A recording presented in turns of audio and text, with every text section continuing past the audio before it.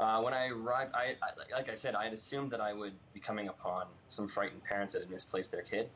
And um, when I arrived, the tent had been collapsed, and there was just the back half of a wolf um, sticking out the front of it or the side. I couldn't even. It had been turned around quite a bit. I was already running at the time, um, so there really was. It, it feels like a bit of an instant. I didn't. Um, I just kind of kept running at it, yelling, um, and it was just so big. And so, like I said before in other interviews, was a bit of a bit of a large target. So um, I just kind of kept my my momentum going, and I just uh, kicked it in the back half, just kind of like I was trying to kick in a door, which I've never really done before. So the wolf popped out, a little curious, I think. Um, didn't maybe just didn't see that coming, and I was just trying to assess how much trouble I was in. I wasn't too sure if it was going to come at me or not, but um, it wasn't snarling. It wasn't. It wasn't um, growling at me at all.